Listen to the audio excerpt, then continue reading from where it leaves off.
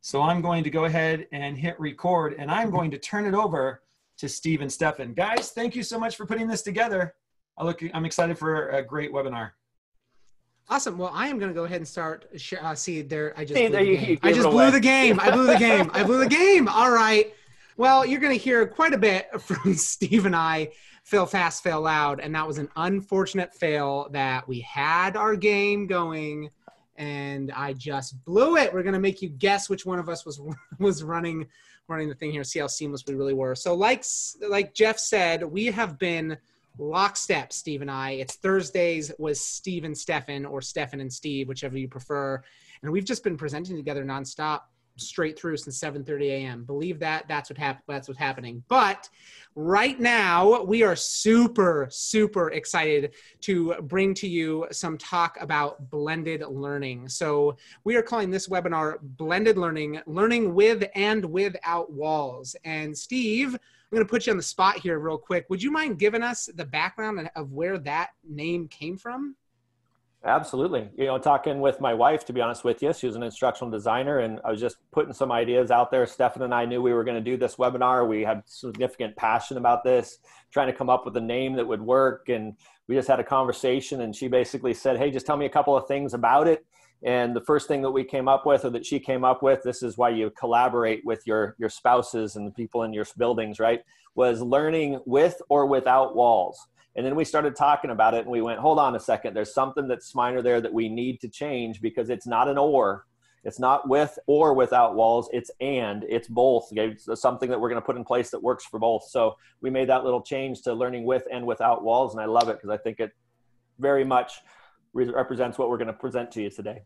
Yeah, and we honestly are hoping hoping it's not one of our instructional goals here, but like if you leave this webinar understanding the difference between and and or in that title, then we probably that's a pretty good measure of us doing our job. But before we jump into that, we're going to give you just a brief introduction because some of you know who we are, some of you are let's say lucky enough to have Steve and I, right? I was in a cohort the other day where he said, "Don't tell anybody, but this is the best duo you got," right?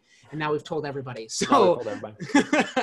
uh, so some of you are from our cohorts, and we've been pitching that all afternoon. But we are excited. So, in case you don't get to see us on a weekly or biweekly basis here, my name is Stefan Troutman. I currently work in the Moses Lake School District. I work there as an instructional technology coach specifically at the high school there. So it's the one high school. So you could categorize me as a 912 instructional technology coach. I'm liking that term less and less because it's just about good teaching. And hopefully that's something you walk away with today that we're talking about good instructional strategies. And that's really what that's, that's morphed into. But before that, I was teaching for six years in uh, seventh grade, seventh grade English and i did i threw that sel portion in there social emotional learning because that's actually going to be super relevant to what we're talking about today so i spent uh, six years working as a seventh grade ela teacher and doing some leadership work with students some servant leadership and that was fantastic and then i had the opportunity to jump up to that high school level and work with teachers and so i've been doing that for the last two years and I just big shout out to Moses Lake High School because I've been thinking a lot recently about this whole remote learning experience. And last year was their first year going one to one. And they made a ton of growth, and teachers are not great at recognizing that growth because we always focus on things that we need to fix. But if we take a step back and we breathe and we see that huge growth, I just keep thinking, what if remote learning had happened to us last year? But this year they've just been killing it, and that's been super fun to just dig my hands in with those teachers and, and do that remote learning work and start to have these types of conversations. So before that, I grew up in Colorado, uh, not born there, but raised there in uh, Arvada. I like to call it little, but it's definitely not right there in the middle of Boulder and Denver. So if you have any Colorado connections, let me know. There's always one. There's always someone's like, oh, I've got a friend in Arvada. And last last webinar, actually, one of the presenters was living in Arvada, Colorado. Weird connection. And then I graduated from high school there and attended Whitworth University in Spokane and loved it. Fantastic school, prepared me greatly, and I that has brought me here. So if there is one thing that I want you walking away from this webinar with, I'm just going to steal blatantly from Jeff, so I hope he doesn't mind. It's this idea of highly structured and loosely organized, a highly structured and loosely organized classroom. And I'm not going to go too deeply into that, but I do just want you thinking about structure, structure, structure as, as we dig in. So that being said, I'm going to turn this over to Steve. Who are you, man? Hey, everybody. I'm Steve Murphy, and I'm coming to you from beautiful Enumclaw, Washington, here on the west side of the mountains. And it's a beautiful day today. And I see that there's a few of us from Enumclaw in the chat. So, right on, go Enumclaw. And I even saw Jody Maris in there, former colleague. So, hi, Jody. Good to see you. Um, seeing that the come up in the chat there. I've been teaching for 22 years. I've been coaching for 24 years. Uh, I'm currently going to be this next year going to be our technology TOSA. In the last five, six years, when we did our one-to-one Chromebook rollout, I've been an instructional technology leader just from the classroom. So I'm a classroom teacher okay, that's moving into a TOSA type teaching position when it comes to technology in our district, but very, very passionate about this move to kind of blended learning and uh, improving our teaching practices. Real quickly, just something about me is attended the University of Washington and I had the opportunity to play baseball there. I know we got people coming from all over the state and I know that Jeff's standing there. So I'll say just for Jeff, go dogs. Okay, go dogs to all the Cougs out there. Okay, I know that that's either probably going to divide us in some way, shape, or form, but you know, hey, that's that's how it goes. Like Stefan talked about, highly structured, loosely organized. I'm glad he got a chance to say it first because I tend to get them backwards at times. But it's very, very important to me in my classroom to be able to have that highly structured, loosely organized uh, approach to what we're doing. But I will add this if you're going to be moving your direct moving in this direction which we believe is the best direction for students and for education and for learning it's significantly important that you also take on the mantra that we are also stealing from jeff but we've re- really really embraced it reimagine washington ed and that is to fail fast and fail loud. It's okay to not have everything work perfectly right at the beginning Eh, you will learn from it you'll improve upon it and it'll make your practices that much better. So we've had plenty of fail fast fail loud moments that have gotten us to this point and i promise you and i hope that i have many more because it means i'm continuing to try new things. And so that's what we're going to hopefully also instill in you is the idea that it's okay to take some risks and for not to be to, for it not necessarily to work perfectly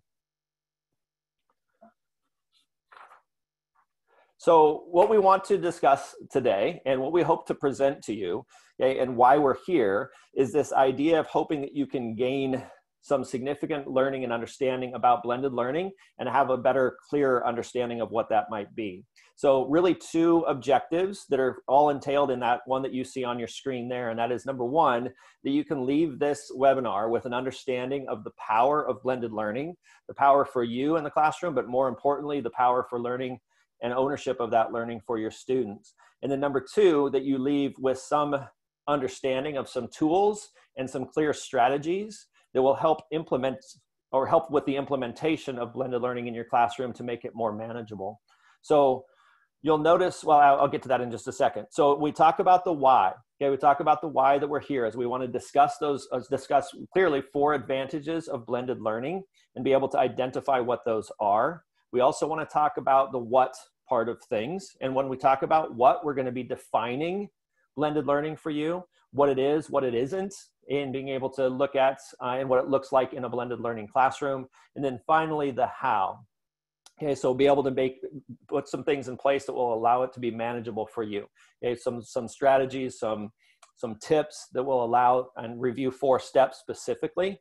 Okay, that will allow you to make this learning manageable.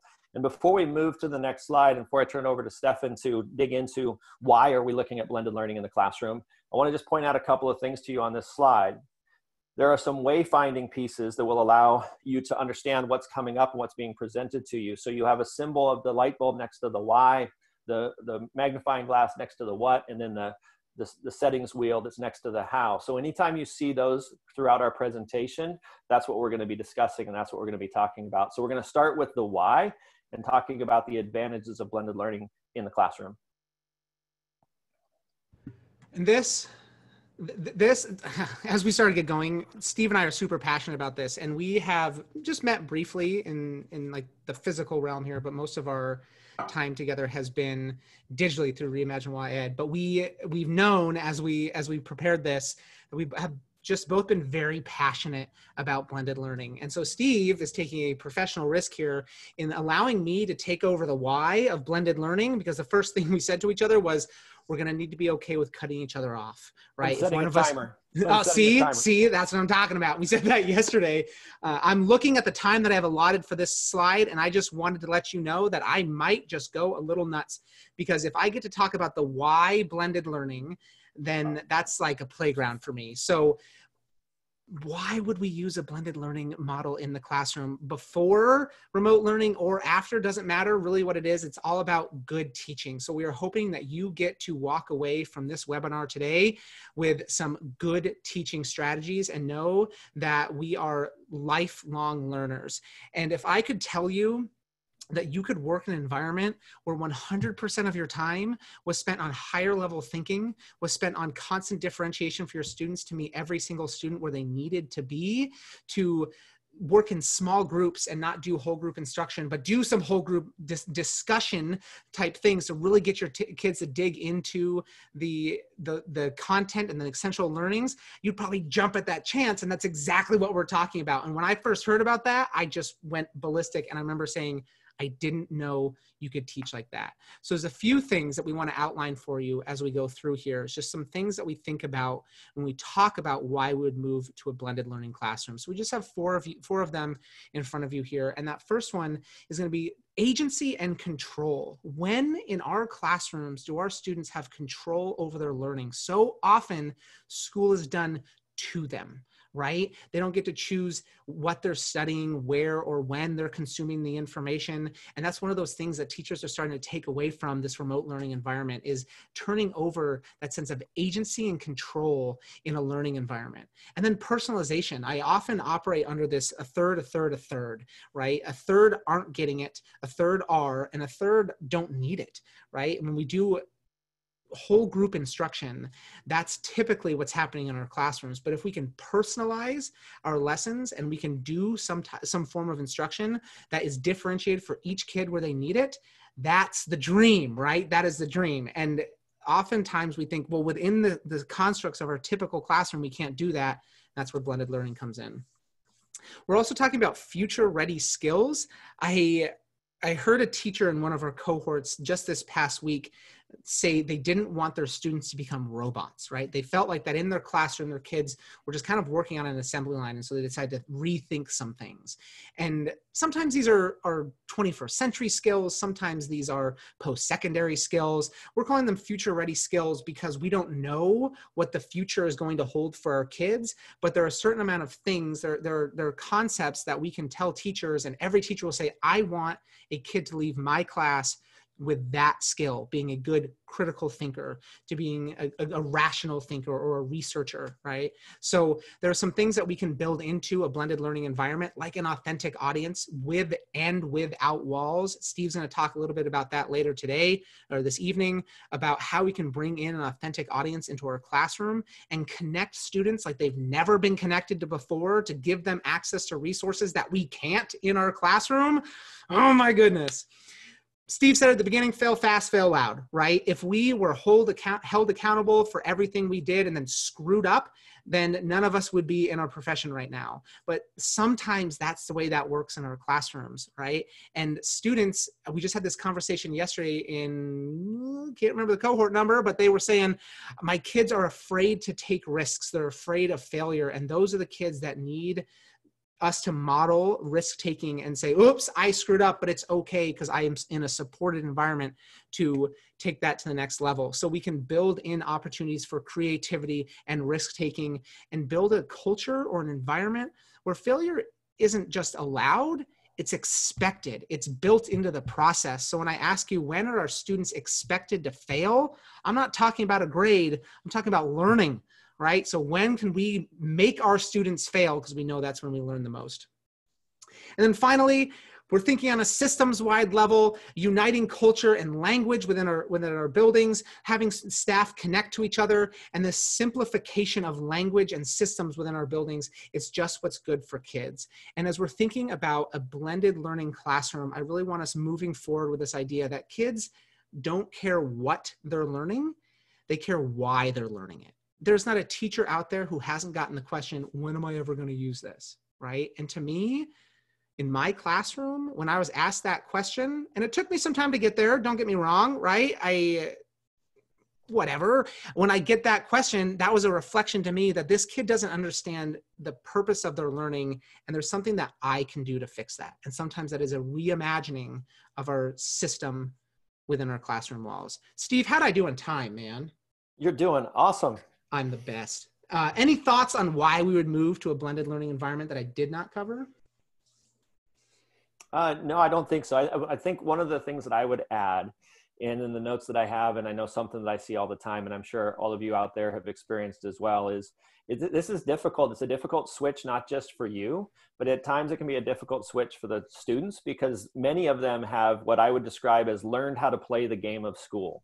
They've learned how to play school and that that that is something that's very different than what the blended learning classroom is. But the reason that the shift is so significantly important and we talk about in the next slide here coming up on what is a blended learning classroom in case you're still trying to wrap your mind around that it really is important to be future ready and in future ready skills okay, to be able to push them out of that comfort zone to not do, do just what's easiest because that's what they've always done.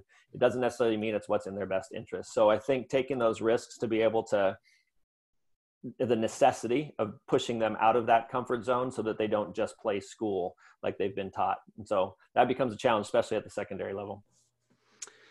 So here's, and I remember what happened when we said, Hey, tell us where you're coming from. And the chat exploded. And so I'm excited to see what's about to happen here and how we're going to keep up with that, Steve. But here's the deal as we were thinking about, because Steve's about to take us into what is blended learning, we're going to define the blended learning environment here and talk about that a little bit because I mean, all of these things about giving control to a student and getting them to experience future ready skills in a blended learning environment and not just teach them how to be advocates for themselves, but to make them be advocates for ourselves. Those are the things we want our kids leaving our classroom with, right? And so Steve's going to take us through a little bit of what it is and what it isn't. I'm going to discuss that a little bit. But there's some questions coming through in the chat, which it's like you're looking at our presentation. What we want is for you to tell us what are some of your concerns and apprehensions regarding implementation of a blended learning environment right? So when i say these things about kids are online and they're offline and they're working at their own pace and they have control and our and our content is personalized we know there are some alarm bells that go off in teachers heads right? But what about but what about but what about? We want your but what abouts in the chat right now. So take a second. Think take some time to think first and write down on a piece of paper right? List all of the things all of those apprehensions that you have about implementing a blended learning environment and then put those in the chat so we can take a look at them please.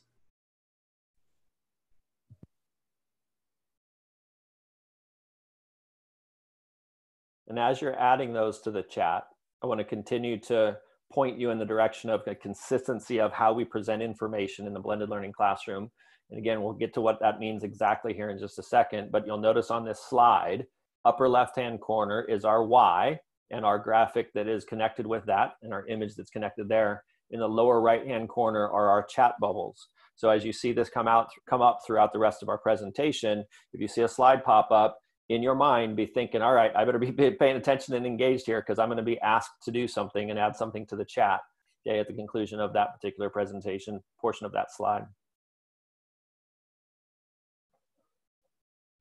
And I'm not sure if you're taking a look at the the chat. And I just did this really dumb thing where I was like, oh, they're not things aren't coming in super quickly as I'm scrolling through the chat. I realized down below there's this constantly ticking number of 32 unread messages. so things are coming in at a at a pace. I'm seeing some great questions. And this is what teachers do best, right? They focus on what's best for kids so uh, this is awesome. I'm just going to scroll through these things here a little bit, and then Steve, you're the one with the timer. You tell me when you're yep, when you think we're good. We are good. Let's go. On. Let's, Let's move on. Party. Then, uh, go for but it. I'm going to ask Jeff in kind of the moderating role there. Is as we get towards the end of this, maybe we can address a few of those questions rather than just wait till the end or anything that we could do in that particular spot. So here's what I want to say about what is blended learning. I know in doing this presentation yesterday when we did a run through with it and talking to a few other teachers, there's still, and I remember being in this position about, you know, four or five years ago, and I feel like I'm still learning a lot about blended learning, but it's teachers that are saying, okay, I hear this all the time, but I can't really wrap my mind around what exactly it is. And so I want to make sure that we are avoiding the temptation to delineate online instruction versus in-class in instruction, right? We're not talking about online and offline as being two separate things. Really, what blended learning is exactly what it sounds like, and it's taking those two things and blending them together in a way that is best for students as we move forward in our educational model, whatever that might look like. So, this blended learning classroom is not something just for right now when we're in emergency distance learning. It's not something for just online. It is something that absolutely can be done in the classroom. I've been doing it for the last five or six years in my classroom, or at least attempting to and trying to put it in place. It's not, and I repeat, it's not simply putting your in class content online, though. There are some structural things that need to happen with it. It's not just taking a worksheet and putting it onto your online portion of things. That's not blended learning. Okay? This should be something that's new, improved model for learning. And so if we look at a you know definition that we have in Reimagine Washington Ed for blended learning, I'm just going to kind of paraphrase for you here, but it's really about using the right tool for the right job okay, that is both online and offline. Something that can be done in the classroom, something that can be done out of the classroom, within the walls and outside the walls. Okay, it's the practice of combining those types of things, digital and analog. So we're not saying in a blended learning environment that that means you do everything on a Chromebook, you do everything on a computer. Okay, there are times that you might say on the day today we're putting that away. And we're doing something a little bit different because we're doing in-class discussion and conversation. We're blending the best of both worlds together.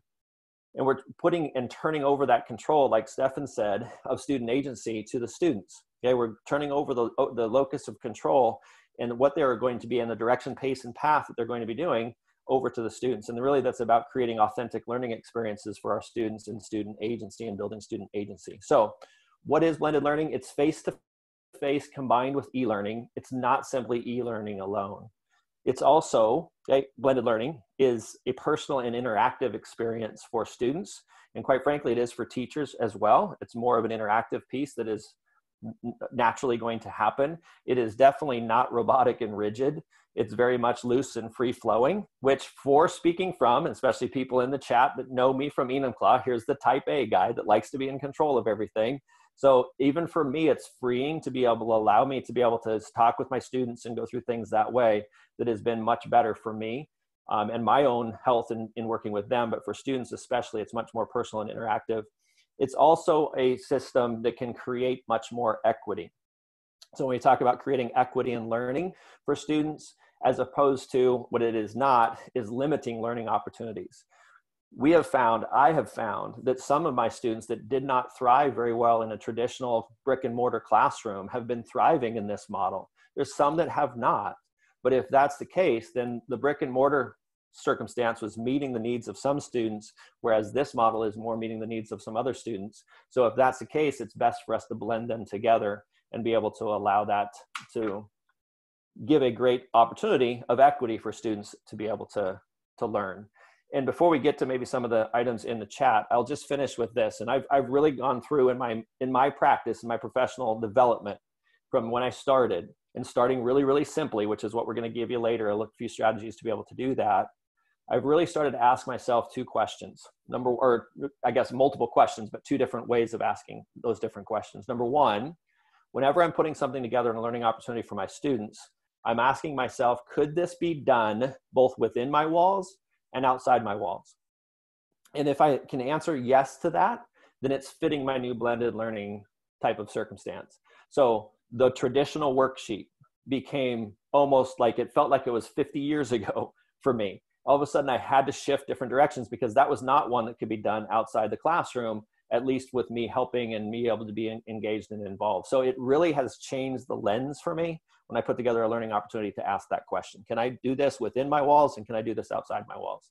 And then another decision making filter when it comes to new tech tools, when it comes to different types of models, there's four questions that I would love for us to be able to kind of process. Number one, is this in the best interest of our students and our kids?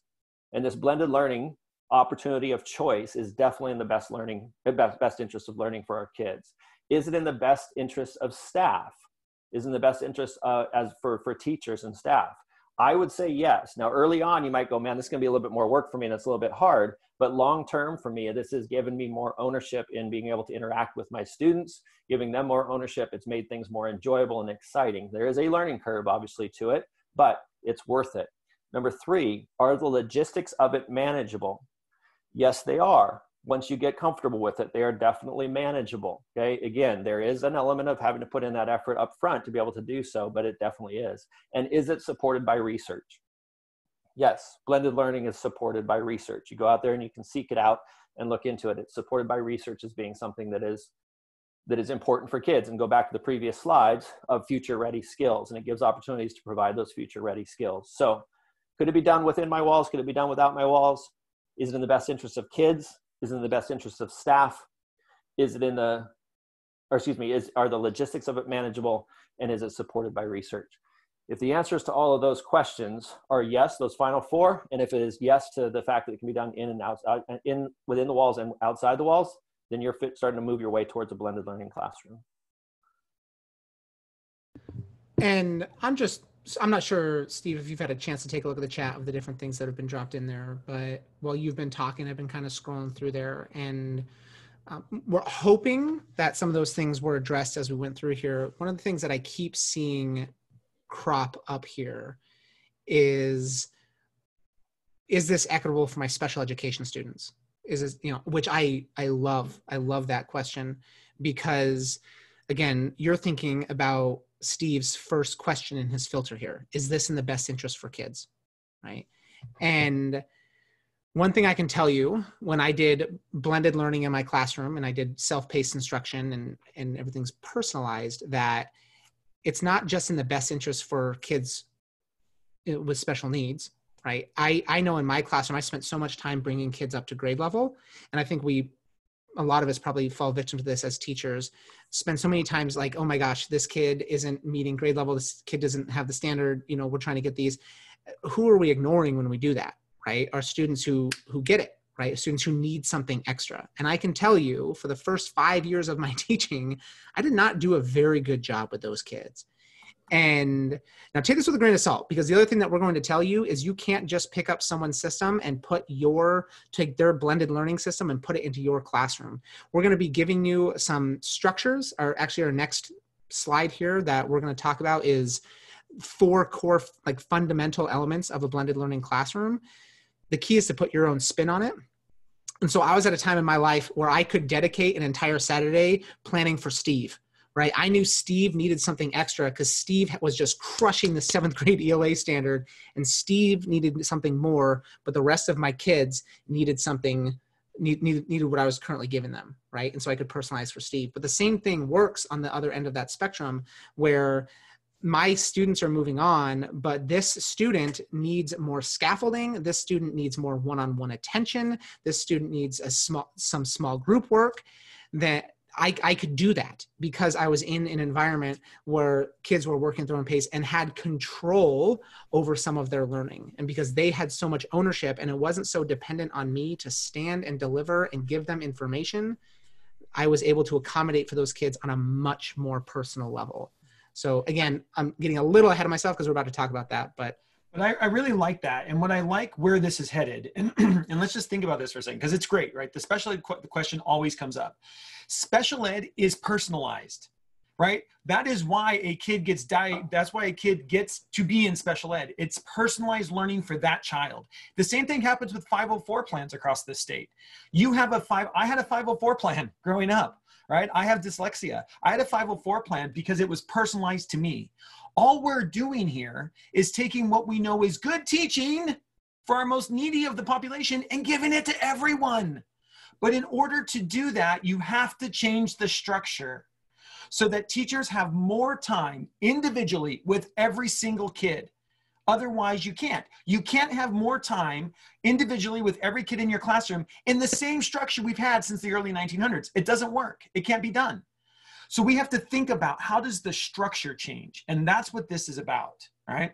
So I want you to think about that. Yes, it's a great question about special ed, but special ed teachers are already personalizing. They are personalization specialists. That's what a special ed teacher does. We need to we need to capture that. We need them to support us general ed teachers in saying, how do I specialize for all, which we call personalized learning. One of the questions that keeps coming up, and I'd love to hear your guys' thoughts on this, is what's the difference between blended learning and a flipped classroom? Are they the same? Are they the different? what does that what does it mean for you how do you see that that overlap of the difference between a blended learning classroom and a flipped classroom Steve, do you well, mind if I take point? Because like, like, mind if I? so hold on, a, hold on a second, because what I was gonna, what I was gonna answer, because I saw that and I wanted to bring it up as well, and then I'll, I'll, I'll leave it into you. I'll, I'll, set it up for you to, to dunk in the. You did that earlier today, and I missed it. So like, yeah, yeah, yeah, second time here. So, but Betty had mentioned in there, had mentioned about blended learning, because I think it is important that we need to define what it is, and everybody kind of wrap their mind around it. But she said that it's a universal design for learning to address unique learning needs. Standards are firm, method flexibility awesome. Awesome. Awesome. That is it. That is it. That's the whole idea. So when we start talking about a flipped classroom i will defer to stefan because i know that there is a passion level like here on flipped classroom and let him talk about it. But i think they do definitely go hand in hand. I wouldn't say that they're synonyms of one another but they definitely do go hand in hand. And I think we've been almost forced into thinking about flipped classroom type of format in this emergency distance learning that then hopefully can carry over into the fall. So with that, Stefan, here's the alley oop. Go. All right. So here's the deal. I and I'm going to give you this guy's TED talk at the end here. I went to NCCE several years ago, and I'm a storyteller. I'm going to clip this down a little bit because I'm looking at our time, and we've got a little bit of a playground coming up here. So I went to I went to this session almost on a whim because I saw a game like video game in the title, and I was like, hey. His name was Paul Andersen. He, if you've watched the YouTube channel for AP Bio, he's he's a guy that runs that. He's a consultant, goes all over the place. Well, he's ta- he is talking about how he had flipped his classroom. I had never heard of a flipped classroom before. So my blended learning classroom journey started by trying to flip my classroom and it failed like hardcore. For the exact thing that you guys are seeing right now because the only thing we've been hearing about for weeks from teachers is, is lack of engagement from your students right? And so i was gung-ho over the summer. I was like i'm flipping my classroom. I remember going to monica mcatee was in here. I remember going to dinner with her and marlon howell and lynn fry uh, over in portland and I just remember saying, I didn't know you could teach like that. I didn't know this was a thing. Why wouldn't I go one on one with all of my kids? Right. I can. And so I was just, I was on fire. Right. And I spent the summer planning things and, and, and rewatching his TED talk over and over to try to identify my own philosophy. And I had this grand vision. So a flipped classroom is kids get the instruction at home and do the activities in class. Right. I mean, you are flipping. So whereas what we would normally identify as like homework maybe that we send home you do that stuff you do the activities in class and the stuff that you would normally do in a traditional classroom where you deliver information kids watch through asynchronous video at home. And i was so jazzed and on fire. My kids didn't do the stuff at home right? And i mostly because i just refused to let it fail was like I'm not fighting that battle. I can't go into each and every one of their homes. I'm not gonna uh, like. I, I, thought of my my my population. My, my again, I'm teaching seventh grade. I know these kids are doing sports and academics after school. They're going home and they're babysitting. I've got a lot of students coming from poverty. Like I'm not gonna fight that battle. I knew that I could control what happens in my classroom when I have them.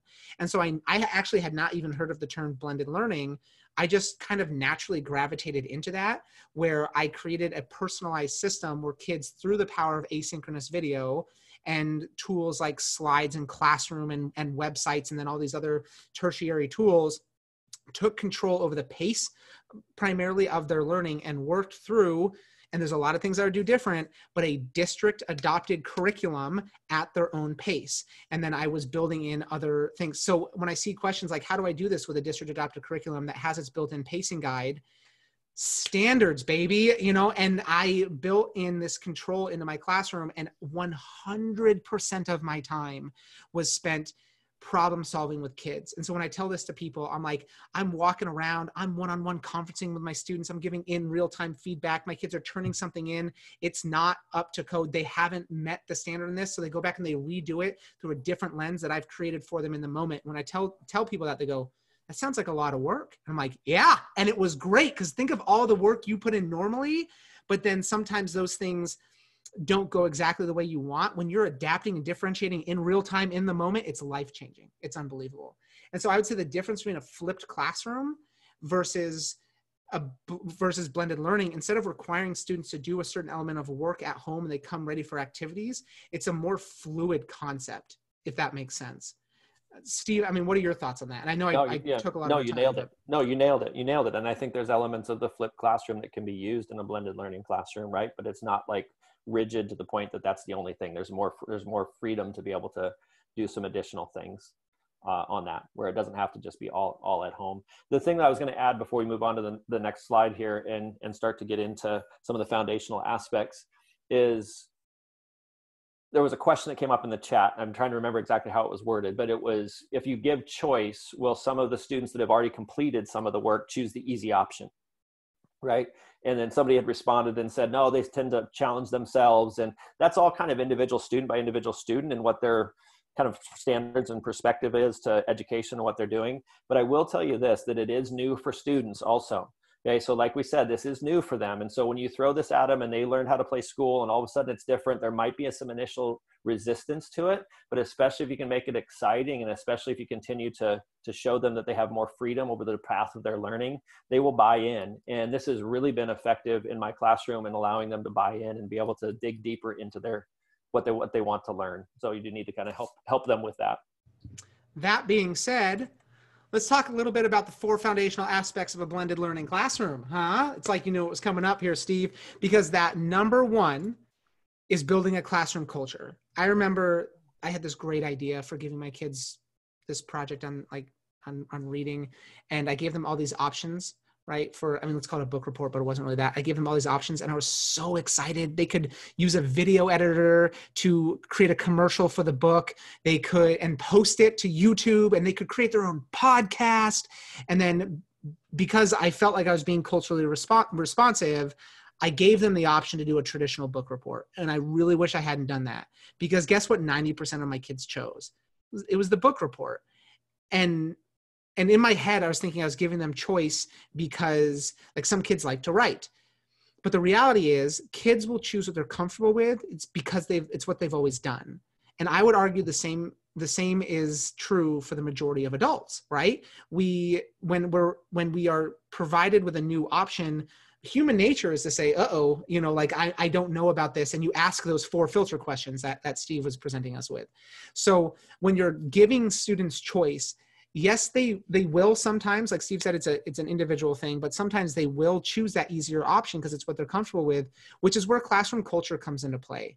Because we're talking about things like critical thinking rigor failure and retrying that task. And students are not comfortable with that. And if they are not in an environment where they feel safe to fail because they know they will be supported safe to take a risk then they're not going to take those risks because why would they right? So the first thing that we need to do is set up a classroom culture where we set up expectations for behavior and engagement, right? We're things I like to say to my students are we're in a professional environment. This is what I expect from you. Right? This is how we act in a professional environment. Right there, having that meaningful conversation and starting off your year with those types of things, right there eliminates all kinds of di- digital citizenship problems, right? You're talking about how to behave with future ready skills and connectivity professionally in an online community and an offline community because that's what blended learning is how are we going to behave? And then what do i expect from you in terms of engagement? Remember that high structure. These are part of our structures that we're building in for students. How are we supporting them so that they can take ownership over their own learning? But one just thing I would add, oh, one go, thing go. I would add to that would be just and and I think this is a good reflection for every teacher. Do my students see our classroom when we say our classroom, do they understand we mean both our physical and digital classroom?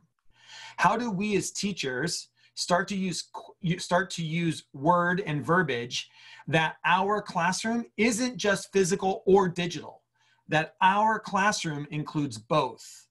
Because that helps to build that culture that the same rules apply in both spaces right? And a lot of times we end up in this thing like, oh, well, that is that classroom and this is this classroom. And we have to start using words and we have to start framing things so that students understand it's both of these places, right? Both of these places are our classroom. And that helps to also create that classroom culture.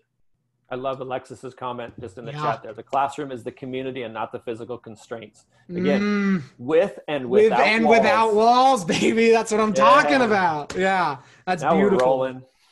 So, on that note, it is important for students to know what to expect of you, right? When we start talking about a blended classroom, there's a lot of things that get blended digital, physical, and then also, and this is a reality, work hours. I my wife had to set some very clear boundaries when I was at home for when it was time to put the phone away because I put Google Hangouts on my phone and I was so excited about being able to respond to a student's question because they're sending me questions about the work that they're trying to catch up on or something for them working ahead, right? They're working ahead of where I want them to be and they're asking me how to do something and they're asking these questions about my content I'm like and she's like you have to be done working right? You ha- there has to be a time. And so setting those expectations of if you send me an email or whatever a preferred mode of communication is after 5 p.m i'm not going to respond to you. I will get back to you starting at 7 a.m the next morning but know that these are my times on and off and telling kids that, that is okay. That is okay to set those structures. But also what can they expect from you in terms of support clearly this is going to be a change for a lot of kids clearly communicating that if you fail but you are trying i am here to give you whatever you need so that way you can work your way towards success right? So be thinking we're going to ask you about this a little bit in a second here so prep be thinking about what you can do to create a culture of high expectations, of rigor, of support. I like to start off my class the first day with a really demanding activity, something that re- required them to work together and did not have a correct answer because no one gets it, but it's kind of goofy and kind of fun. So we're all in there together, but the idea is productive struggle.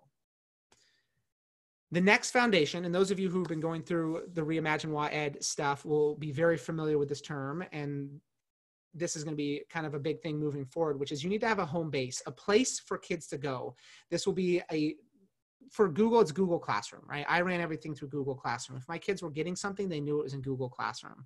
This is insanely important for not just your kids, so that way, as they're starting to learn to manage their schedule and take control over their time, they know where to go to get their stuff but it's also important for families because if you can tell a parent everything they will ever need is in our learning management system is in microsoft teams is in canvas is in classroom is in schoology is in flipgrid whatever it is they know it's there.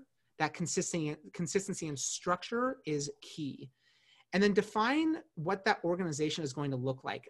Steve's been talking to you about our wayfinding techniques in here which is something you've seen going through the reimagine Wide stuff too what are these significant icons that you can leave for your kids? That way when they these visual cues and reminders that, the, that way they know if it's labeled this way this is what's expected of me. And then personalize that right? We i can tell you how i set up my google classroom. That might not work for you. Just like your work is going to be personalized for students you're going to need to personalize your uh, your learning management system and home base for your kids as well. Number three is feedback and collaboration so that is a big one. We, those first two are really those foundational structure getting things going. As you start to get into blended learning really maximizing feedback and collaboration for your students how can they get feedback from you? How can they give feedback to each other? And this is my favorite one. How can the students give you feedback? I always just put a reflection question. Is there anything you need to tell me at the end of every re- reflection my students did? They, I got feedback in terms of structure on my Google Classroom, home life, funny jokes, everything, right? So, how can we be building in feedback and collaboration, not just teacher to student, student to student, and student to teacher? And this last one, this is always a fun conversation, and I mean that genuinely, which is assessment. What are we grading? I know there's some stuff going through the chat there, and I, if we had the next three hours to talk about it, we would. But I know that I moved to a, I always call it mastery. I need to move away from that proficiency based grading system where everything was done to 100%. So if this assignment is worth 20 points, then you're going to redo it and redo it and redo it. And I'm going to help you and support you along that way until you earn that 20 points.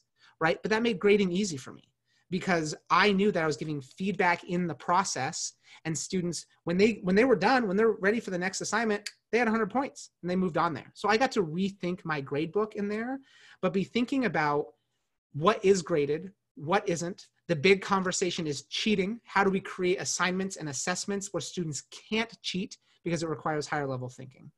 And then maybe, Steve, if you could talk about this one a little bit because you've done a great job with this. This idea that if we are doing formative assessment correctly, if we are giving feedback in the process of learning, no one fails the summative assessment. That's more of a reflection on me as a teacher if a student fails that summative than it is on my students' knowledge. So, Steve, what are your thoughts on that?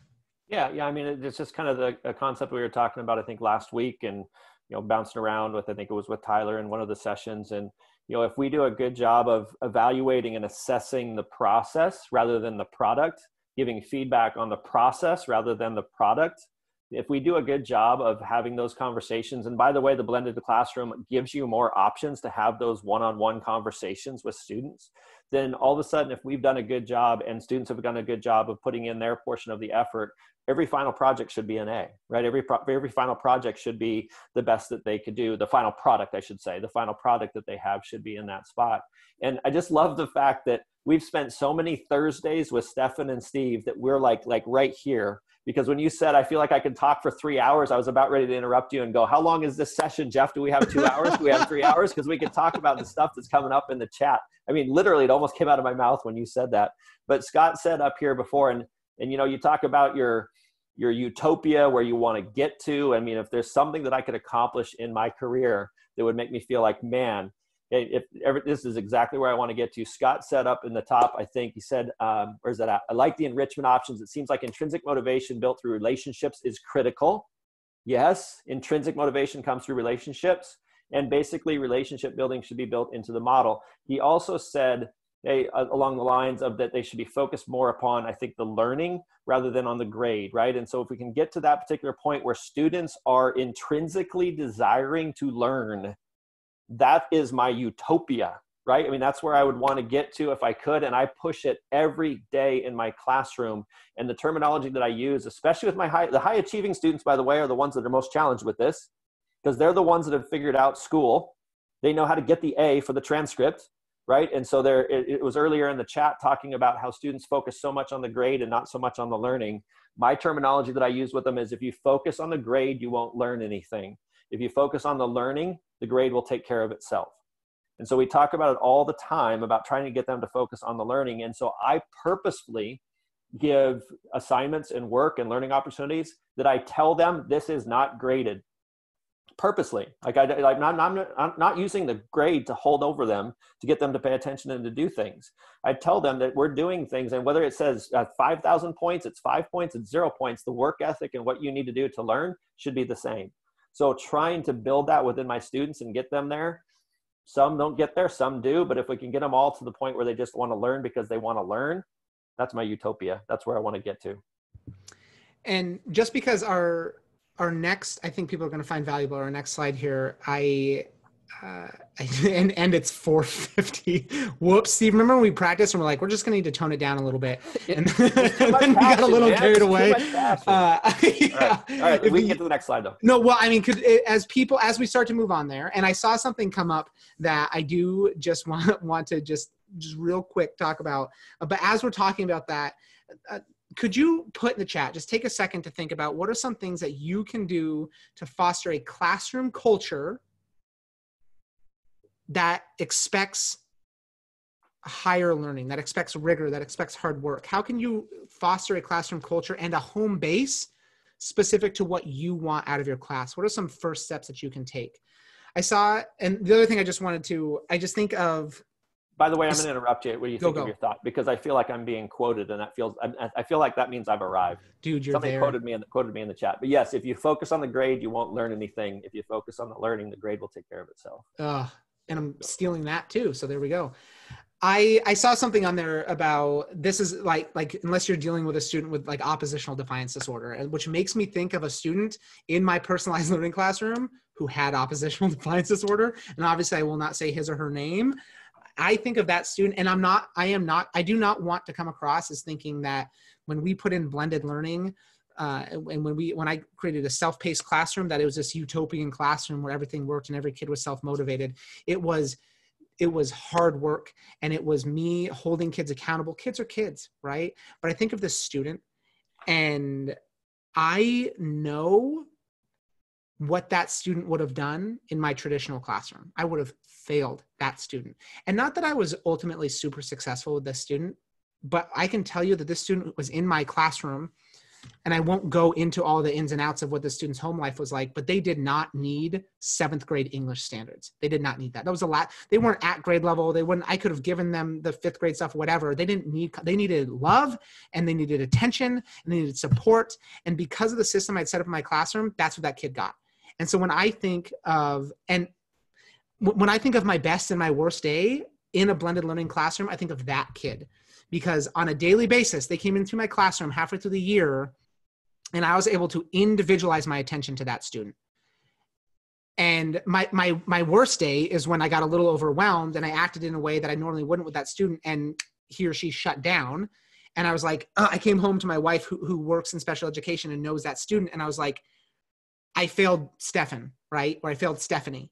And and she asked what happened. I explained, and I was able to repair that relationship because I was able to dedicate the time. And that's what our kids need. That's what a lot of our kids need is that is that connection, and that's what a blended learning environment will give you. Uh, I see Betty, kids first, always, always kids first. So I, I always think of that student because I may not have taught that kid seventh grade English, but for the time she was in my classroom, because of the system that I had set up, I was able to give her what she needed, and it was amazing. So real quick before you move on, you're being asked to, can you just quickly, 30 seconds, because you guys only got nine minutes left. Feed, feedback, you're being asked to look at number three again and read just what did you say about feedback and collaboration? Why is that an important piece? Steve, you might be able to do it faster than I can. Do you want to take that? What I would say is this is number one, collaboration is a future ready skill it's something that we need to be able to provide opportunities for for students to be able to collaborate with one another but we also need to collaborate with our students to provide them feedback okay? And so that feedback to be able to say this is what you need to improve on. This is why you need to uh, change. This is what you need to alter. I like what you did here will allow them to move forward in their in their journey and what it is that they're trying to put together as their final product. And hopefully then if we're evaluating those oh, that feedback over the process that the final product will be what we want it to be. And stefan also mentioned do not be afraid of getting feedback from your students about what you're doing in class for you also. So that feedback is significant there.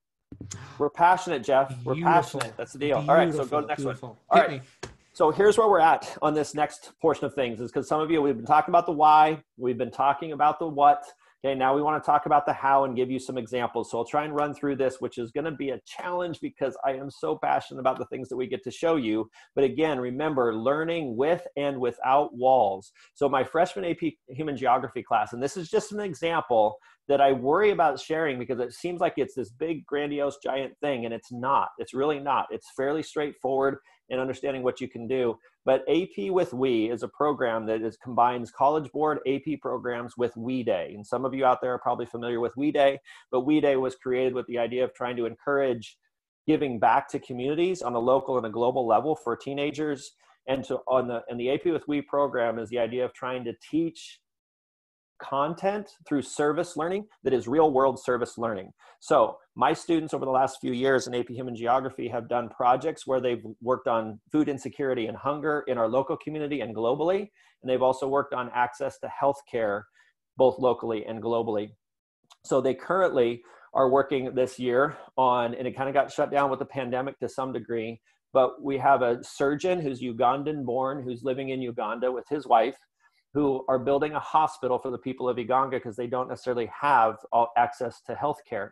And so my students have partnered with them to try and help build this hospital. And in preparation for a Google Hangout that we did, they had this document. This is just a portion of it. It was ended up being about three pages long, and I blacked out student names and such. But this was a shared Google document. Okay, that again, this is something we could have done within the walls of our classroom having students write it down on pieces of paper, have small group discussion. I could bring in a guest speaker into the classroom to be able to talk to them, but we couldn't necessarily do that because Isaac and Rachel were in Uganda. But yet we can still collaborate with them. Okay, when we can collaborate within the walls, talking about what we're trying to put together here. But this was in preparation for a Google Hangout that we were going to have. That I wanted them to just kind of crowdsource some questions that they had for them, and then brainstorm ideas as to how they can help. Now, there was some front loading of food, or excuse me, of access to healthcare and what they were going through in Uganda, where they got a chance to do some research. But they then put these questions together. I shared this document with Isaac and Rachel, so they were prepared. and then they joined us for a Google Hangout for 50 minutes in my classroom. Okay, and I think there's a picture of it that's there. I was going to show you the video, but then you have privacy issues with the students and such. But this is Isaac and Rachel from their home in Uganda at about 11 o'clock at night, 8 o'clock a.m. our time, because that's when they were we were able to connect and make make it work.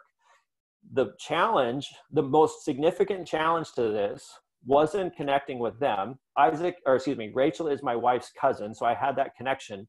But you all there there are twitter there's there's tons of different ways you can make connections globally to be able to do something like this. But the most challenging piece was the time.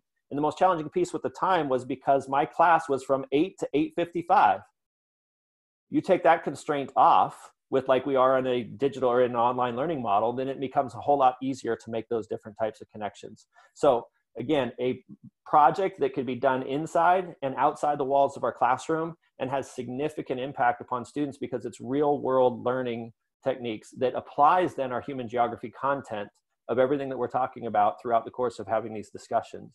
And the student buy-in the relationship and culture that is built from getting an opportunity to talk with somebody in uganda is just powerful beyond all i can't even explain how powerful it is. It's significant. So the one other example that we did um, I think is, is, is on there as well. Yeah, click on the Hangouts one. Yeah.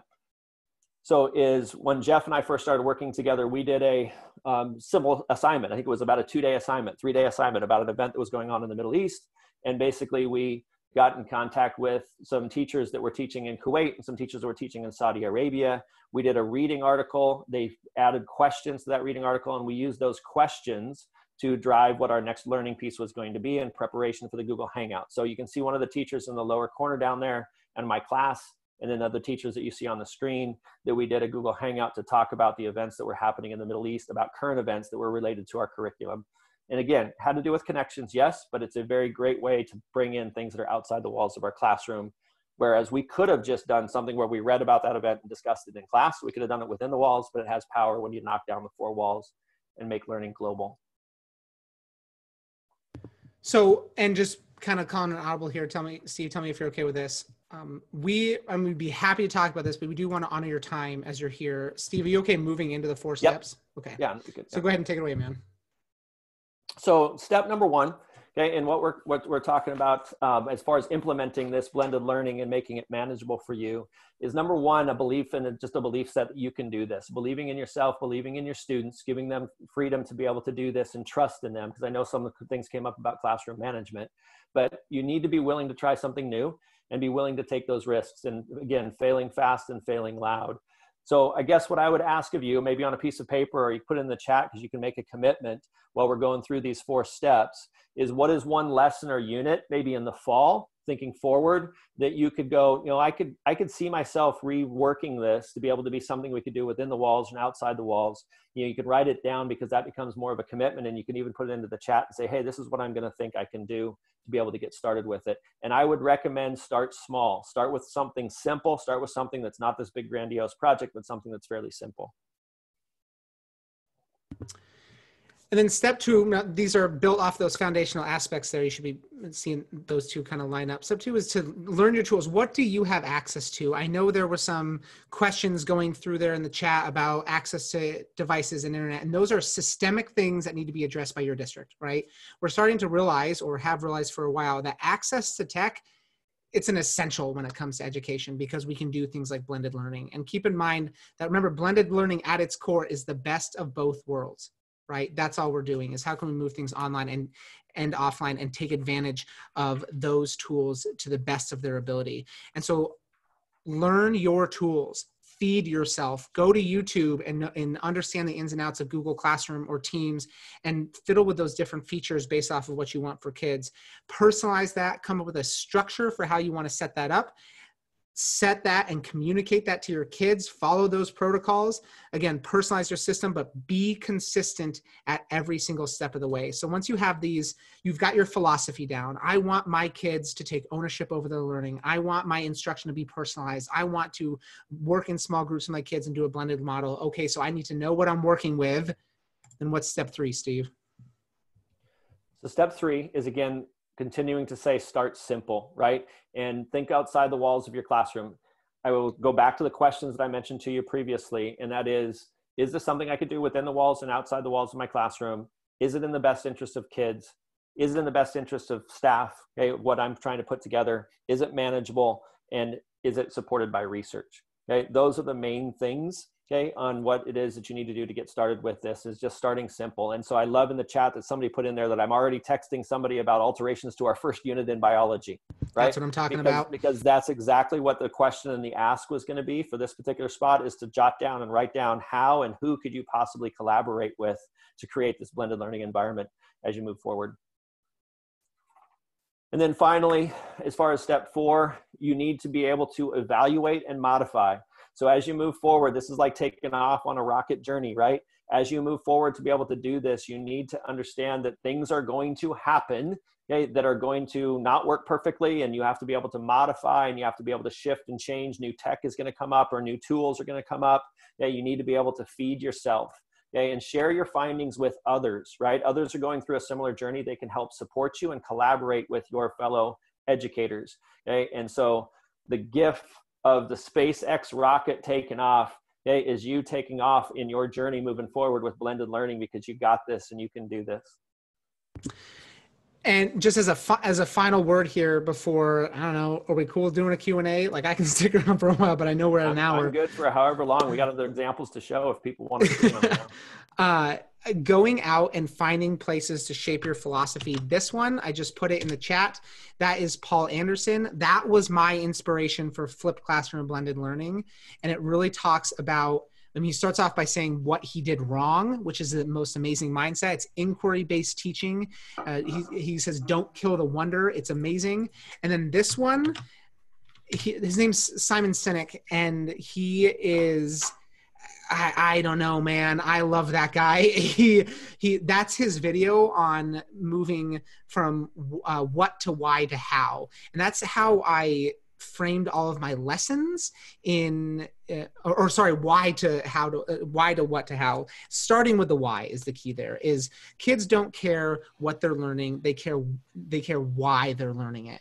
And if we can get kids to internalize to find a need for what they're learning to understand why they're learning it and really take ownership of that that's that utopian classroom that we're thinking of. You know that's what we're shooting for is these self-motivated kids because they're doing things they have control over them and, and and so that one he's a business guy but holy cow that was a big one for me. So yeah all right look at that. we 503 we, could be one. and we didn't we didn't do this earlier stuff and we were going to tell our cohorts that they needed to put in there that they were from our cohort we were going to try and show how many showed up. But i'm happy and we're happy next week or in future ones to share some samples or talk a little bit more about this as well. There's cohort eight cohort eight that's what house. i'm talking about there we go. Mm-hmm, there we're mm-hmm, talking now mm-hmm. we're talking see? Love it. All right can you guys maybe go over one more example? There's a lot of people that would like to see another example of one of those ways. You know, I know Steve, you shared shared one of yours. Can yeah, maybe I have do one, one more example? Share, and then, but I want Stefan to share his. Yeah, I've got I've got some questions here for you too. If we can stick around, people can leave. You can watch this recording. We'll be on the re uh, on YouTube if you need to get out of here. Um, it'll also be on the Reimagine website under uh, resources. But if you want to stick around, uh, we're going to stick around for a little bit, answer some questions, and geek out with you. Uh, thanks for joining us. Really appreciate it. Uh, let's look at another example. Yeah, so I'll do the podcasting one because Steve asked me to do that yesterday, and I I really want to go through the, the, the, website that I did with the with the physics kids, and he's like, you should do the podcasting one because the audio stuff. So so that's what I'm doing, and I love it, and it's great. It's fantastic. They're just both good examples. So this is from an eighth grade social studies teacher who works in Moses Lake, and she said one day she walked into her classroom and this this is the example of being vulnerable and getting feedback with her kids and they love it.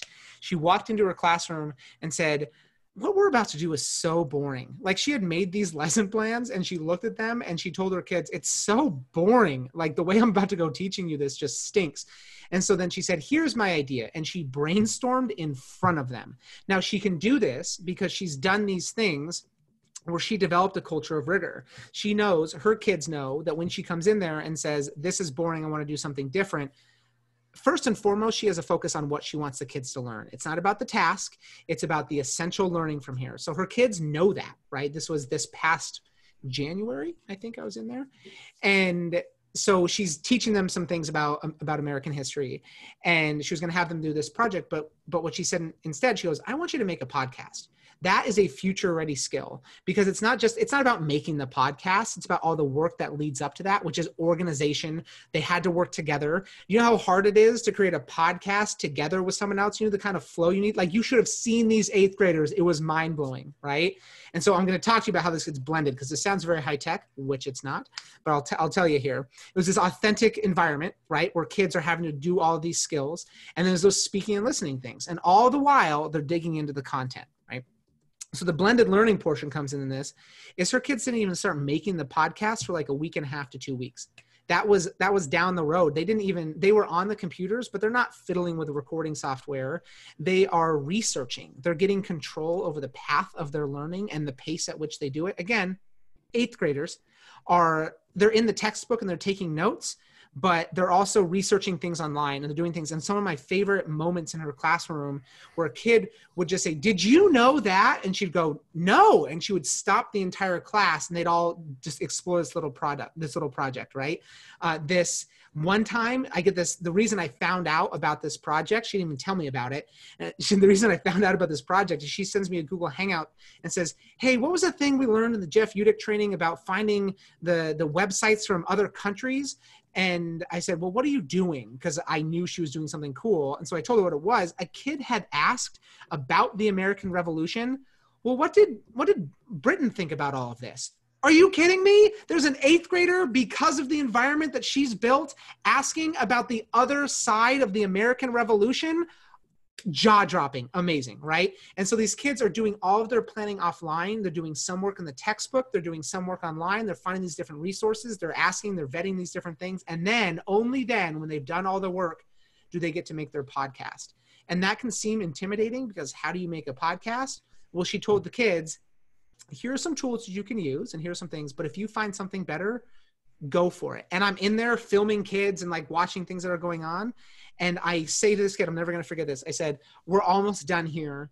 Uh, hold on just like two minutes because that way you can start recording and you're not going to have any background noise of us in our podcast. He goes, Oh, no, it's fine. I found that I found this extension that eliminates background noise unbelievable. None of us had ever heard of it. This kid had just gone and found these tools that he needed because she had built in those structures. And so it was all about using the best of both online and offline, but to meet instead of having them take Cornell notes out of a out of a textbook, just this one source. And they found all of this information and all of these different sources and were able to synthesize that because of her giving that freedom in that blended learning environment. And then her job was to walk around and facilitate the learning, was to ask questions, to make sure kids were on task, or to was to uh, inspire kids when they need it, provide extra support, and for those kids that were just absolutely crushing it, push them a little bit farther and differentiate in the moment. It was this beautiful, beautiful lesson. But if you ask her about it, of course she's going to say, "Ah, well, it wasn't a big deal." But it was amazing, amazing. All right, let's get to some questions real quick. Uh, here's a question from Valerie what parts are highly structured and what parts are loosely organized? Um, so, Stefan, we talked about that story. Here's my story. Right, we were going to start with it, and I was like, no, I'm going to hold off because something's going to come up in the webinar that I can tell the story. So, my journey with blended learning started, I don't know, four or five years ago, six years ago, when I met some guy named Jeff Utecht. Okay, and so in going through this scenario, I've had many failures and many things that have really made me rethink how I do things. And I mentioned earlier that I'm really much, very much a type A personality, kind of like things in structure, but yet I like the creative part of it as well. So letting go of that ownership of direction of my class was a challenging piece for me. But I even got to the point where I felt like I was enabling enabling i was hand holding my students through a lot of things and that they weren't being asked to think for themselves that they were expecting me to give them so much information. And i really started to feel like i was over explaining things to the point where they didn't feel like they had to listen because they could just ask questions and go back. So i, I wanted to go the complete opposite way. So i talked with my principal one time and i said look i, I want to try and go a different way. I want to just say hey this is what i want you to do and go and the support that i had was awesome. It was like go ahead and go for it and so last year we really took it to an extreme. And friend of mine, two friends of mine, colleagues, one a science teacher, one an English teacher, and I tried to put together a project that we called the Impress Me Project. And this was our brilliant idea. We said, all right, we are going to ask these three classes to collaborate with one another, cross curriculum, and we are going to simply ask you to impress us, right? We're going to take all the reins off. We are not even going to grade it we are going to just say impress us and we gave them a basic question of how did we get here? And of course they were confused which we said that's part of the process right? That's part of the process and we thought it was the greatest thing because we were asking them to just impress us and they had freedom and they're going to take off and they're going to do all kinds of great things. It was awful. It was terrible. It did not work at all and we got done and went oh my gosh this was just the biggest failure ever because you can't say to a 17 year old kid no grade no nothing just do whatever you want because they're not going to do anything. And it was like what were we thinking right? The intention was in the right spot but it just really didn't work. So learning from that moving forward into this year i've incorporated into each one of my units what i call their self-guided project. And so in the self-guided project they have highly structured a, pro, a highly structured process to come up with what their topic is to be able to um, i guess if you would argue for why they want that to be their topic then they have certain steps that they have to reach by certain times and then they have to sh- be able to tell me how they're going to produce their learning and how they're going to show me their learning and they have to meet with me or email me to tell me about that so notice i'm not talking about any structured aspect of what it is that they're learning I'm talking about the structure of how they're going to go about the learning. And they have choice over path of what they're learning. And it's been awesome. The kids have loved it. But I would not have gotten to that point without the failure of last mm. year to be able to understand how that works. So that's how I would describe that. I don't know what Stefan. I like that. And basically, I mean, if I was to, and I love this because it's just like as you were talking, I was just like, oh yeah, that's it. You structure the how, not the what. Yes right? You structure the how. How are you going to learn this? But you don't structure what you're going to learn within the how. So the structure is around the how, right? That's the pathway. And you're going to continue to hear these words called, or this term called pathways as we move into next fall and we get into really blended learning environments. Um, so thank you for that. I, I, love that, the way that you, you, you talked about that. We had a couple questions real quick following up on this, and we'll get back to the questions. Is Sherry and Joanne were asking, are there any ideas for high school math? uh, honors algebra, algebra, or algebra 2. And I will just say, if I was an algebra teacher, I would be trying to teach everything I possibly could through spreadsheets. One of the skills every single time that I talk with businesses, business owners, I talk with small businesses and large businesses, when I ask them, what is one skill that we should be make sure we graduate kids with, it is spreadsheets and you could teach almost the entirety of the algebra curriculum inside spreadsheets. That's what spreadsheets do. And think about what that might look like if you gave kids big, unorganized data and you had to organize it. The second thing I would be thinking about is how do you visualize data? Even in algebra, how do you set up an algebraic expression that gives you numbers, that gets you data? And then how do you visualize that data? Understanding that part of math today is also art. That is a great crossover. Because a lot of our math classes, we have to understand that what we're really talking about when we have big data sets, I mean big data sets like we're playing with in the world today. One of the ways you have to, we have to think about is what's the best way to present that data? And one of the things I would be focusing on if I was an algebra teacher would be infographics. How do I get kids to take data, make it visual, and put it in something called an infographic so other people can read it? And there is data all over the internet. There is data about every stoplight in your hometown if you want to find it. There's stop there's there's data about the river flow. There's data about you know pollution data i mean there's data about whatever you want kids to organize so kids can have personalized by what big piece of data do you want to look at and then how are you going to make sense of it? So if any any math classroom i the one thing i would that would to me would be my blended learning right? It would be my why. Why is algebra important? Because algebra is what spreadsheets are and spreadsheets run the world. Done right? Done. And then i would set up those things for that. Next question for you guys and i would really like to because both of you have done this in your classroom so i think this is a really good question what about classroom management? It seems really busy and difficult to keep track of students. And this is from Stephanie. Yeah, it's amazing. so it really is. It's stressful the first time you do it, but it really is. Yeah, well, here here's the crazy thing, right? And this this is not what people think. No one told me this. No one told me this. I get my blended learning environment going, right? Things have fall fallen flat in his face, and I've decided to do personalized learning. I teach my kids the system we've gone through everything. It's time for the first lesson, right? Everyone's starting in the same spot. I get them going. And like the next day, I'm like, I'm kind of like looking around over my shoulder, very self conscious because I'm going, I'm lonely. Like, we love kids, right? I love interacting with kids. And when kids first started going and they were self sufficient, I was like, uh oh, like, what do I do? Now, that question was answered very quickly, right? I facilitate their learning, and kids are going to be kids. And, but my answer to that actually is a simple one. So, so first there was, there was, oh no, my kids are all at least occupied. I wouldn't have called them engaged at that point, but occupied, right? They're doing something and what do I do with myself because I'm not delivering information anymore, which, as I think back, was a very cool moment. But then, in terms of classroom management, I always had the occasional screwball, right? But my kids always had something productive to be doing.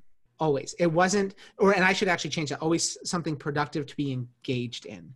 There never was the option for them to be goofing around because there was unstructured time. I mean, they're, you know, I guess that was not the correct wording to use, but like they there was never any busy work because then if they were waiting on me, I found that the bottleneck in the system was me and I had to build ways to, to get me more efficient. But I had a rolling list of things that kids could be working on. Oh, okay, you're done with this assignment, you're waiting to reflect with me. Go teach yourself coding. Why not? There's so many free coding websites out there. So I had kids teaching themselves coding in class because they're interested in it. Um, I had I had this kind of ongoing, uh, call them book projects, but things they could be working on passively to really inspire a love for reading. And so what I found was, and this is not going to be a very satisfying answer, classroom management wasn't really the issue because my kids were engaged. And when you have engaged kids, they don't really want to be screwing around. And it was a, it, again, that's not a super helpful answer, but if they, if they are engaged with what they're doing, classroom management isn't really an issue. Yeah, and I guess what I would say to that, and not not to put, I don't know what the right word would be, but I know having gone through uh, education classes in college when you're getting your teaching certificate and it, what you're presented is that you know engaging lesson reduces or gets rid of classroom management issues and then you get in the classroom and you realize that that's a bunch of bull right? It does it doesn't really work that way. But on the other hand they are more engaged and what i would say was the big cha- big change for me was that if I was doing a traditional 30 year old type of assignment, I could keep them working and on pace and whatever, but it was more an adversarial kind of why are you not on pace? Why are you not doing what you're doing? I was able to answer questions, but a lot of times they were questions that became annoying by fifth period because I've had to answer them 50 times. And it really wasn't conversations about learning. When we first, when I first went to the blended learning type of model, exactly like Stefan, I all of a sudden felt like, man, I don't really feel like I'm doing anything. I'm supposed to be like saying things and monitoring things, and they're doing these other areas. But then you started to realize that you could have really real conversations with students. Like you could go sit down and talk with them and say, hey, what are you working on? And they were excited to tell you as opposed to the worksheet that you gave me. Right. And so you're able to have conversations with them that were very much about the real learning that was happening and it became and it became energizing for me and exciting for me. And i remember actually having this moment of this is why i signed up to be a teacher is to have these conversations. It wasn't to tell them to put their cell phone away and why are you not doing your work and why are you not doing whatever. With and that you can, said oh, oh okay, i was going to say with that said it's not a magic bullet either. You still have students that have struggles with work ethic or work completion or focus or I mean, those things are still there, but that's part of what we do as educators is right, is trying to help them in those different areas. Well, and you'll never be more hyper aware of them than you are in a blended learning classroom because right. you, you are so that's, that's the, if that's the foundational piece of this is your relationships with kids. And that's the number one pushback I get from teachers is blended learning is great. Personalized learning is great, but I value my relationships with my kids, which is, is an offensive thing to say to me because there is nothing I value more than my relationships with my kids. And that's why I'm a coach is because I saw what blended learning can do for relationships in the classroom. And I two weeks into my blended learning environment, I broke down my teacher desk and I put it in the corner so kids could choose to work there. And I went and I bought a stool off Amazon because I was spending so much time walking around my classroom and sitting down in front of kids. I needed to be mobile. I needed something so I wasn't squatting or kneeling all day. I needed a stool. And so if you're going to buy one thing, that's it. Get a stool because you're going to be moving and grooving. And it's amazing. All right. So Rhonda shared, uh, Rhonda's question was, what does this look like for early primary kinders and first grades? I shared a link in the chat already.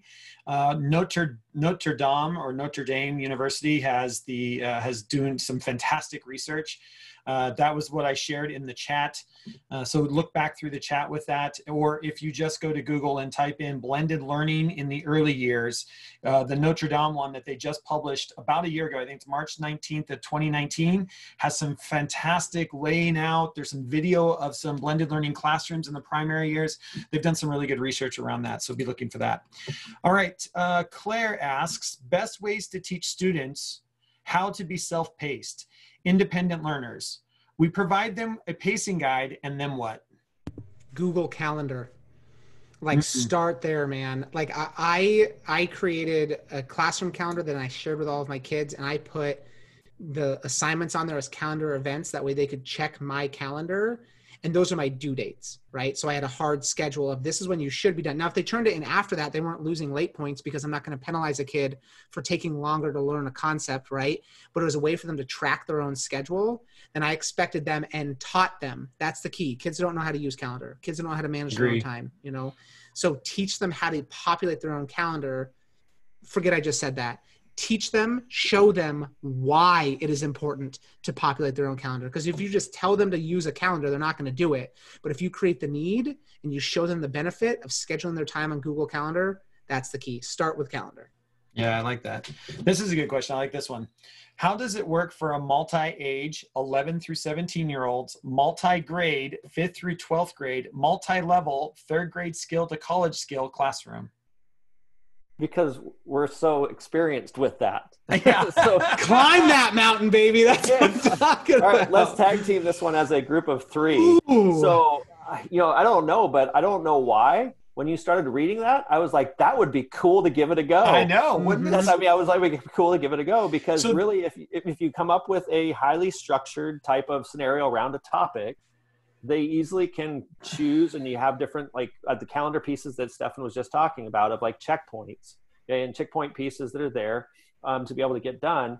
I sort of I, I feel like it could naturally you could come up with some really cool things or even the collaboration. This is something that I didn't get yeah. to share in our, in our ideas. The collaboration of the 17 year olds with the 12 year olds. Oh my gosh, what a powerful experience for the 12 year olds and the 17 year olds. So my AP seniors have done blogging connections with our eighth grade middle school EMS students. And the EMS students were told that they were going to write blogs about a concept that was a government concept, and that the senior AP students were going to read their blogs. And our eighth grade teacher, JB Blair, who, who Jeff knows, who's awesome, said that they just freaked out. Like, oh my gosh, the seniors are going to be reading my blogs. Like, I can't, they can't have them. So he had to talk them down from that.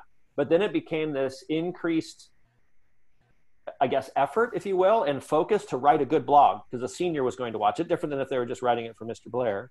And then my students, the aha moment for me with this is I was talking to them about how they can provide productive response in an online environment to an eighth grader who's kind of fragile emotionally.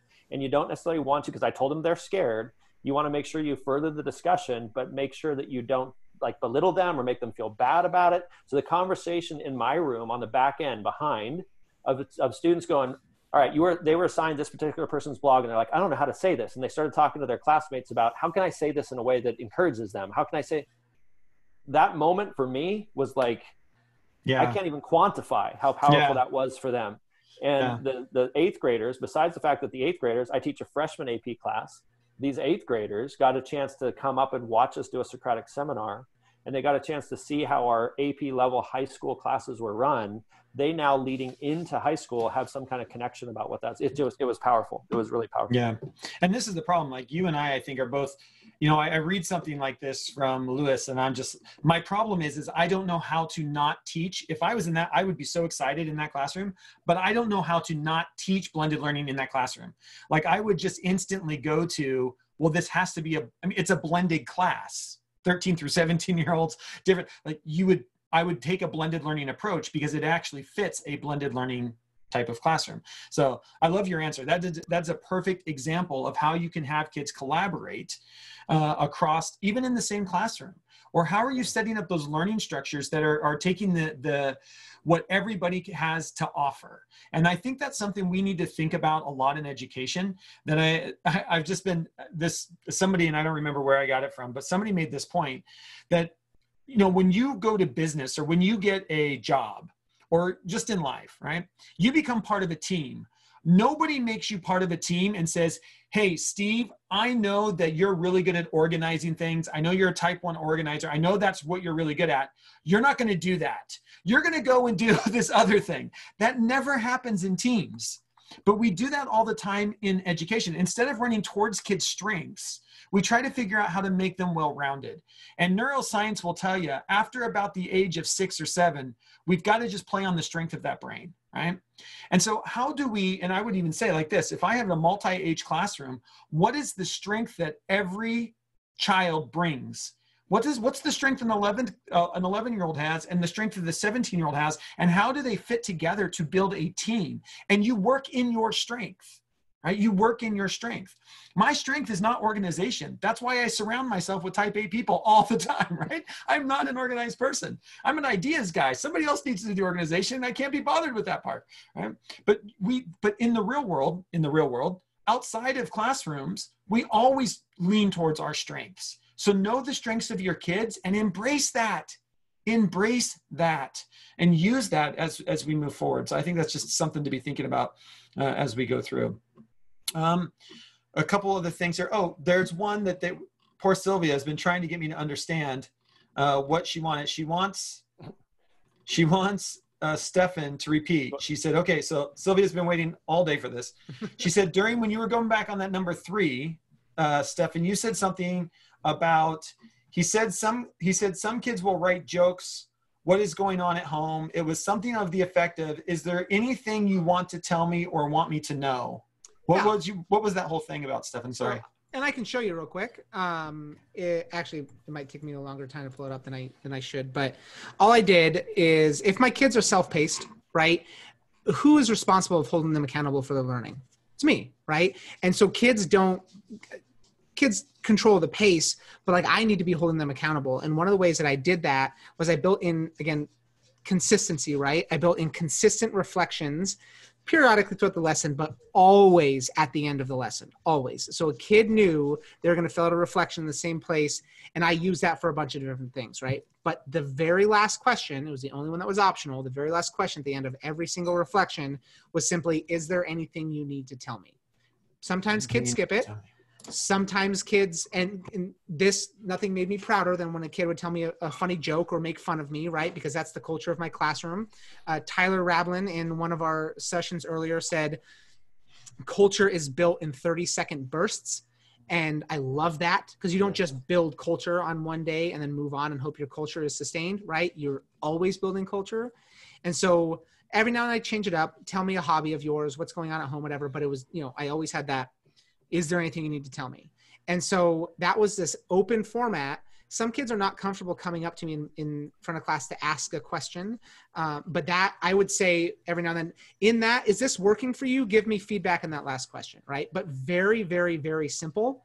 Just one question on a Google form. And it was insanely powerful. And honestly, I actually changed it halfway through the year from do you have any questions or concerns Two, is there anything you need to tell me? Almost on a whim. Like I kind of even didn't really, I was like, yeah, I could just change this up and finish the wording. And I got a lot more from that because yeah, it means something different to kids. Yes, that open-ended yeah. question. And again, the the whole title, not to maybe wrap it up here right at 5:30, but with or with and without walls, right? It just comes up. It's coming up all the time. Is you, we all we all know, or at least uh, hopefully all have experienced it. And I'm not perfect at it. There's times in class I get frustrated when the students maybe not behaving the way that they're supposed to or want to and approach it in a way that be- becomes more confrontational. But every time I've ever approached that student and said, Hey, are you okay? Is there anything I need to know? It's always been a good, productive discussion. Yeah. And that's that's that's the without walls way of being able to do it in an online environment with a question like that or a Google form like that. All right, we have just a couple more questions and then we're done for the day. So here's here's the first one. I think this one's going to be pretty easy for us to answer. I like this one though. Maria asks, in a normal time, we'd be encouraging staff to start small. We are trying to push ourselves to really lean on technology this fall to be consistent for our families regardless of whether or not we are in school. Our staff needs support, a lot of it. If we have to really focus on a few major ideas to implement blended learning, what would you suggest all staff focus on? I know where I go immediately, and I don't know the question or where the question's coming from if they're Google or Microsoft or whatever, but it's a similar type of scenario. Is I'd go to a shared Google Doc, and if you're part of what we're doing, I would go to the you know the like the silent the silent social reading types of activities. That is a simple way for you to really start to expand how you're going to go beyond it. That provides feedback, it provides collaboration, it provides all of those areas that really doesn't take a whole lot to get comfortable with and get your mind wrapped around that will lead to, and what it did for me is it led to, oh, I could do this next thing this way. I could do the next thing this way.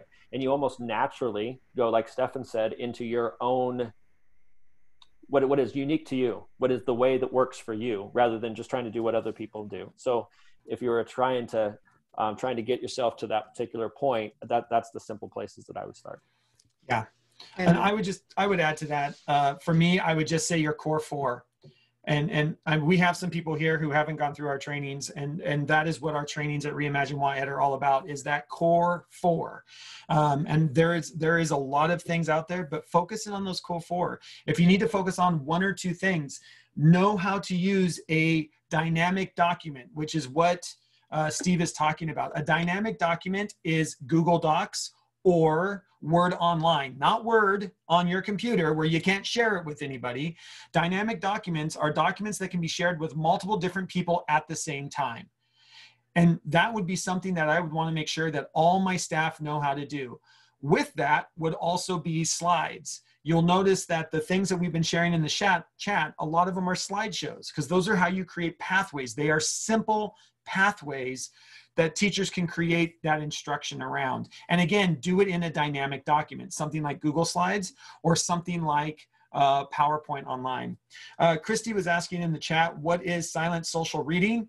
Uh, I'll have to see if there's a video. I don't know if I have any videos of it. It's something that you do with your class where everybody gets to leave comments on an article inside something like a Google Doc or Word online. It's very powerful.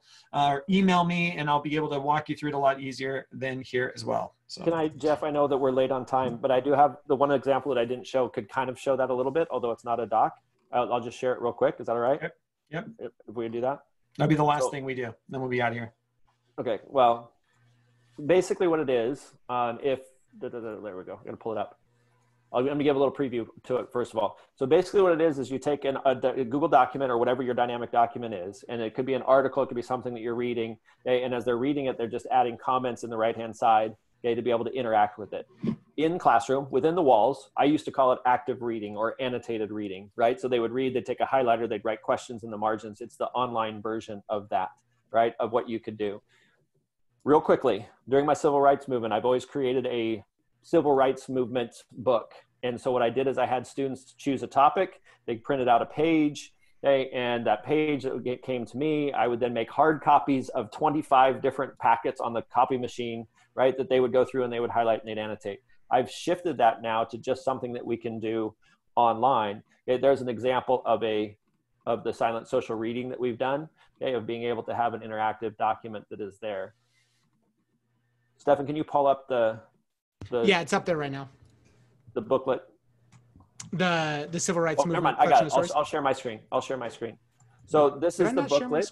Oh. You you did, but I'll share mine. Oh, this okay. is the booklet here. that was me. I shared my screen. Oh, you did. This is the booklet here, and so this page right here. If I click on present, okay, is basically the, the form that's put together. It's not perfectly formatted and everything else, but this was the Brown versus Board of Education type of topic. But what we do is I then send it out to them and I have students add comments to those particular pages of what they're witnessing and what they're seeing. So this is an e-booklet portion of things and how it's set up and how it's put together. And this would be an example, the commenting portion of things would be an example of a silent social reading, but it's they're reading what their classmates have produced, right? And they're commenting on that. So cool. So one of the last things I want to uh, show and see if I can find it here. I don't know where it's at. And uh, give me just one sec. I don't have it here. I'll have to find it here in just a second. Um, but we're being asked um, about how how would you do this in large classes like band, choir, or PE? And I think the first thing I would say is uh, video, video, video. uh, PE especially, I've seen so many great ways that P that video has been used in PE. Uh, I've seen great ways that video has been used uh, in band. Um, I will show you this real quick if you want to see kind of a cool band activity or music activity for music class. Uh, let me share my screen real quick here for you. If you want to stick around for this band example, I won't play the whole thing, but I think this is an interesting example of a kid using technology. I started halfway music. through the year, unlike everybody else. My project is only mediocrely complete. I started out thinking I was actually going to train my two-year-old dog Pippin for once, but he's a hopeless ball of fluff with all fur and no brain, so I gave up quickly. Soon enough, a greater inspiration struck when I found myself, for no reason at all, browsing a composing website called Flat.io. All the cards aligned, and I was ready to put my project into action. I've been playing clarinet since fourth grade and tenor for two years, as well as alto sax for one. I decided on keeping the piece in entirely B flat key for the time being because that is what I'm most comfortable with, and I haven't tried anything quite like this before. I started off with two instruments, a trumpet and a clarinet. Not a common duet, mind you, but easy enough to combine. The whole shebang was a lot of me writing for multiple hours and then going back and deleting the majority of what I had written because it just wasn't good enough. I was really fortunate because the first website that I used was actually perfect. Flat.io is like a really good website. So yeah, you should go check it out. It's super cool. Throughout the song, I wrote both parts simultaneously. Not that the trumpet part was. So I'll stop that there. But the thing I love and the reason why I show that is this is a this is a, a student who is in band. Uh, also happens to be my goddaughter, and I'm so proud of her. And my favorite part is is that video wasn't even about band. Actually, her band teacher had her write a five paragraph essay instead of making a video like that. And she made it specifically in a TikTok video fashion because she wanted that style. So she's thinking of style not only in the music that she created, and the background music was the piece of music she created, but she's thinking through all and if you if you were a band teacher i would hope that it would blow your mind if you could watch the entire video. In fact i'll put it in the, the chat if you want to go watch it at your own.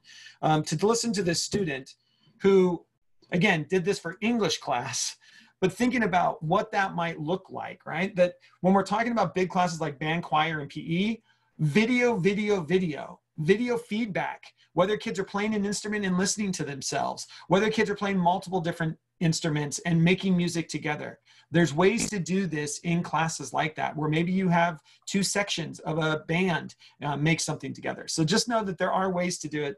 Um, and, and kids are doing this already. It's just how do we harness it?